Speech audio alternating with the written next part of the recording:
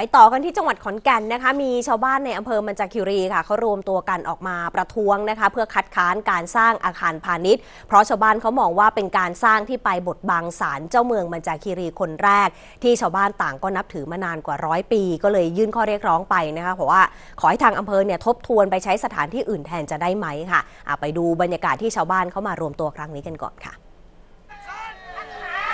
ทางทาง เราขอคัดค้านเราขอคัดค้านขอให้ภาครัฐทบทวนได้ไหม ทบทวน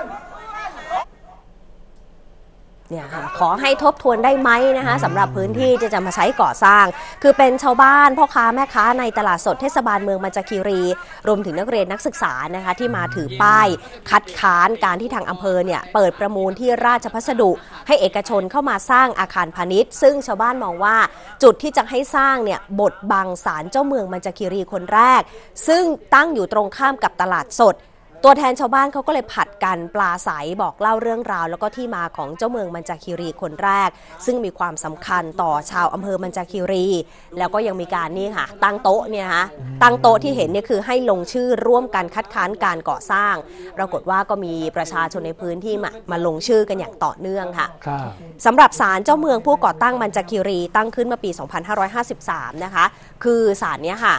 จริง ๆ แล้วเขาจะมีพิธีบวงสรวงทุกๆ ปีนะคะ แต่ว่าทางอำเภอเนี่ยเปิดให้เอกชนมาประมูลเช่าที่ราชพัสดุที่อยู่บริเวณด้านหน้าของศาลชาวบ้านเขาเห็นว่าจะเป็นการบดบังศาลทำให้ต่อไปเดี๋ยวจะไม่มีสถานที่จัดพิธีบวงสรวง ก็เลยไม่เห็นด้วย เรียกร้องให้ผู้เกี่ยวข้องทบทวนการก่อสร้าง แล้วก็ขอคืนพื้นที่ให้กับชาวมันจคีรีด้วยค่ะ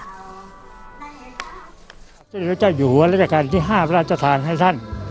ยังยังยังเป็นสถานที่ศักดิ์สิทธิ์ตรงนี้แต่ไหนแต่ไรมา ซึ่งเมื่อก่อนนี้พ่อแม่ก็ทำกิจกรรม ตั้งแต่ทุกปีเป็นประจำสถานที่ตรงนี้ตั้งแต่ที่ยังเป็นรกร้างว่างเปล่าอยู่นะครับ ยังไม่มีบ้านคนมากมายอย่างนี้แล้วตารู้สึกยังไงที่เขามาสร้างอาคารพาณิชย์ปิดอย่างนี้ยก็รู้สึกเสียใจกับไม่สบายใจเลยนะครับ เพราะว่าไม่มีสถานที่จะเข้าคือคือคนทุกคนทุกแห่งในบริเวณนี้ เขาจะมากราบสักการะบูชาหรือจะมาทำกิจกรรมอะไรก็แล้วแต่ จะมาบวงสรวงก็ตาม จะมาบนบานสารกล่าวอะไรก็แล้วแต่เขาเขาเขาจะเข้าทางนี้ทางนั้นเลย